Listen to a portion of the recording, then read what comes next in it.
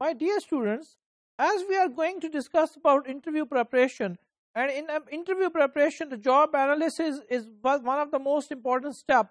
So, what job analysis need to do? Education and prior experience is another very key component of a job analysis. The process of job analysis continues with identifying appropriate educational and prior experience prerequisites. Each and every job position has some prerequisites in terms of educational qualification and prior experience. So, job analysts need to consider prior experience and job qualification in best possible way. This can be best be accomplished when managers and HR representatives join together to ask these key questions. So this is not only the job of an HR manager. In addition to the HR manager, line representative or line manager need to be sit with HR manager or HR representative and they need to ask several questions, several key questions. What are those key questions? Let's see. Number one, what skills and knowledge are needed to successfully perform the primary duties and responsibilities of this job? You know, each and every job has primary duties and responsibilities, and those duties and responsibilities cannot be accomplished without having particular knowledge, skills, and abilities. KSA, knowledge, skills, and abilities. If you don't know about the key knowledge, skills, and abilities, to perform the major duties and responsibilities of any particular job position, it is not good idea to start an interview. So as a part of interview preparation, you need to consider, you need to answer that what are the key knowledge, skills and abilities are required to accomplish this particular duties and responsibilities of job. Number two question, why are these skills and knowledge necessary? It is not enough to say what what knowledge, skills, and abilities are required. The second question is also very much important, even much more important than the first question that why these skills and knowledge and abilities are necessary. How these skills and knowledge would help to accomplish the job in the best possible way. Because it is a higher level thinking that what is not sufficient, in addition to what we need to answer why these skills are important, why these skills are necessary, and how these skills and knowledge would contribute to the to the to accomplish the job in the best possible way. Number three, why could not someone without these skills and knowledge perform the primary duties of the job?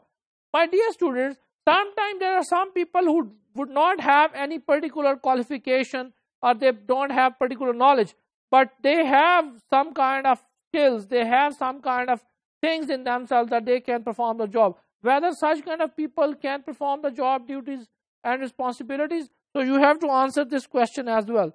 And number four, are the requirements consistent with the job duties and responsibilities? This is a very tricky question.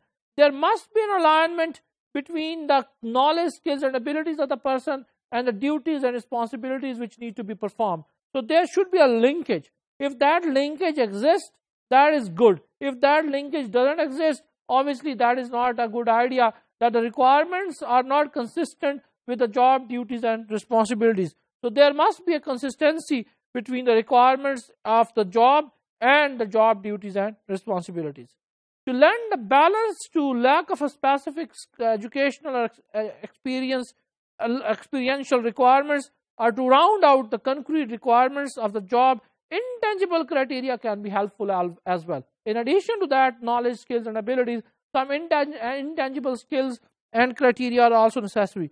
For example, ability to get along with co-workers, uh, management, employees, clients, and customers. So how the person has an ability to get along with co-workers, management, employees, clients, customers, vendors is also very much important.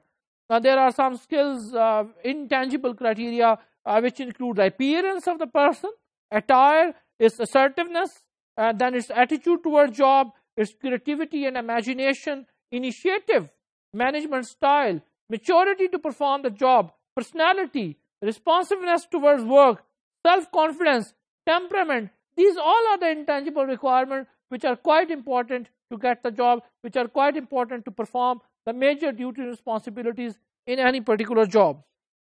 Keeping this profile in mind, as job seekers are considered can be helpful, particularly if two or more applicants meet the concrete requirement of the job. So if two people are meeting the concrete requirement of the job, then you need to decide that which one is the best.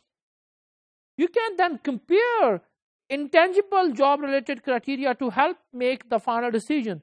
Intangibles can also be helpful in evaluating applicants for entry level jobs.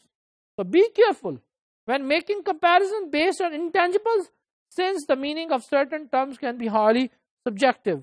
Uh, popular applicant evaluation phrases uh, saying that an applicant has a bad attitude, a winning personality, a nice appearance, or a mature approach to work may not translate the same way for everyone. So these phrases should not be compared for the applicant A and for the applicant B. The meanings of these phrases are different for uh, different applicants to whom you are going to compare.